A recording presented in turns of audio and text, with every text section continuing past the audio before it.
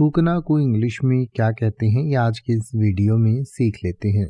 थूकना को इंग्लिश में स्पिट या टू स्पिट कहा जाता है। स्पिट या टू स्पिट जैसे कि अगर आप ये कहना चाहें कि किसी पर थूकना बहुत ही अशोभनीय है तो आप कह सकते हैं it's very rude to spit at someone it's very rude to spit at someone या अगर आप ये कहना चाहें कि फुटपाथ पर मत थूको तो आप कह सकते हैं don't spit on the sidewalk don't spit on the sidewalk अब आप ऐसे ही किसी भी वर्ड का मतलब हिंदी और इंग्लिश में यूट्यूब पर सर्च कर सकते हैं। आपको मेरी वीडियो मिल जाएगी, जिसमें आप बिना किसी फालतू बकवास के सीधा उस वर्ड का मतलब समझ पाएँगे। तो ऐसी ही वीडियोस को देखते रहने के लिए चैनल को सब्सक्राइब करें और बेल आइकन को प्रेस करें।